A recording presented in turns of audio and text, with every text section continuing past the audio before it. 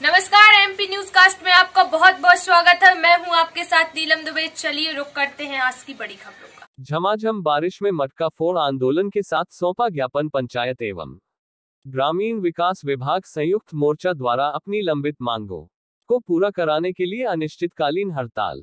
तेरहवा दिन है, उसी क्रम में झमाझम बारिश में मटका पूरा आंदोलन के साथ सौंपा ज्ञापन। लगातार अपनी मांगों को लेकर पंचायत एवं ग्रामीण विकास विभाग संयुक्त मोर्चा अपनी मांगों पर पड़ अड़े हुए हैं, लेकिन मध्य प्रदेश की सरकार सुनने को तैयार नहीं है। मटका फोड़ आंदोलन में सचिव संघ ब्लॉक अध्यक्ष रामबरन सिंह तोमर, अखिलेश जैन, अजय जैन, प्रभात शुक्ला, सुरेंद्र चौहान, बहादुर राजपूत, इमरत लोधी, मोहन लोधी, रोज़गार सहायक राजपाल सिंह, सूरजभान, चंद्रभान, मेहताब लोधी, मदन लोधी, दो दर्जन से ज़्यादा सचिव संघ एवं रोज़गार संघ उपस्थित रहे।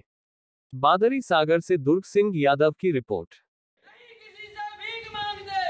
हम अपना अधिकार मांगते चाहे जो मजबूरी हो बताएँ सर आज आप लोगों द्वारा मटके फोड़े गए हैं। क्या है बताएँ? आज हमारे संयुक्त मोर्चा की कलम बंद हड़ताल में आज तेरहवा दिन है और शासन के कान पर जू नहीं लग रहा है। हम लोगों की जो अनार्थिक मांगे हैं जिस पर शासन के पर कोई बोझ नहीं पड़ेगा वो उस, उसकी मांगों को भी शासन नहीं सुन रहा है सुन रहा है।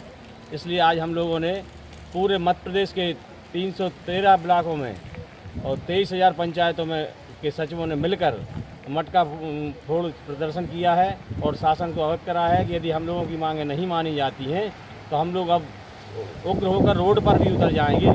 और हमारे जो शासन से हमारी जो मेन मांगे हैं कि हमारे जो रोज़गार सहायक हैं, इनके लिए शासकीय कर्मचारी की सुविधा दी जाए। हम लोगों का वेतनमान जो है तेरह, जो तेरह से मान वेतनमान दिया गया है, उसकी गणना नियुक्ति दिनांक से की जाए और अंतदायी पेंशन जो है, जो तेरह, वर्ष तेरह में आदेश पारित हो गया था, आज तक लागू नहीं की गई है। और शासन से हमारे मांग है कि सातवां वेतनमान भी हम सबको दिया जाए और हमारे जो सभी संयुक्त मोर्चा के कर्मचारी हैं, जो संविदा वर्ग में हैं, उनको भी स्थायी किया जाए। ये तमाम हम लोगों की मांगे हैं। यदि शासन नहीं माँगता है तो हम लोग भोपाल जाएँगे और यदि भोपाल में भी नहीं मानेंगे तो हम लोग दिल्ली तक कूच करेंगे।